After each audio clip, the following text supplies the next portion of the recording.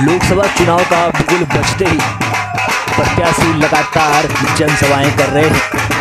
घनसाली में प्रीतम सिंह ने जनसभा को संबोधित किया। आपको बता दें टिहरी लोकसभा सीट से कांग्रेस प्रत्याशी प्रीतम सिंह ने आज घनसाली विधानसभा के चमियाला में चुनावी जनसभा को संबोधित किया। कांग्रेस प्रत्याशी प्रीतम सिंह ने मोदी सरकार पर आरोप लगाते हुए कहा कि आज गरीबों की राशन भारत सरकार ने बंद कर दी है। साथ ही जो पेंशन कांग्रेस के समय पर एक हज़ार रुपए हुआ करती थी वो भी आज बंद हो चुकी है।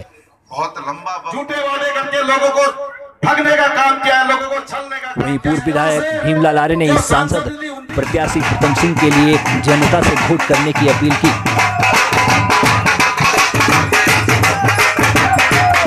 भीमलाल आर्य ने कहा अब डबल इंजन का पहिया थम गया है। वह देश को गुमराह करने का काम कर रहे हैं। इसलिए अब भ्रमित न हो।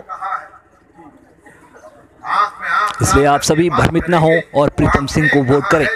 जनसभा को संबोधित करने के बाद प्रीतम सिंह ने चमियाला बाज़ार में रैली निकालकर जनसंपर्क संपर्क किया। घनसाली से टीएनएन के लिए संजय पवार की रिपोर्ट। देश के प्रधानमंत्री, केंद्र की सरकार ने पूरा नहीं किया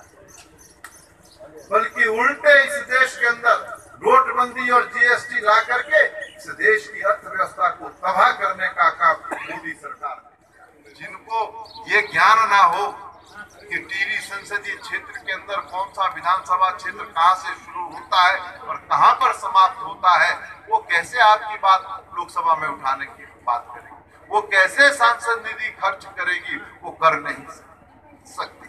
तो ये स्थिति है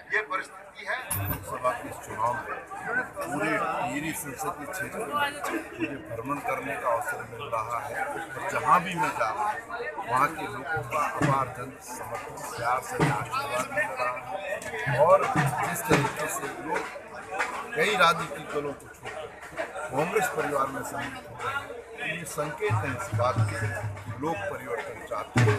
और टिहरी संसदीय क्षेत्र में नहीं साथ लाभबद्ध होने के काम करेंगे। पाँच पाँच को सर इस बार किस प्रकार से देखते हैं कि पार्टी का कि, किस तरह से परफॉर्मेंस रहेगा पूरे उत्तराखंड में? मैं कह चुका हूँ पूरे उत्तराखंड राज्य के अंदर कांग्रेस पाँच के पास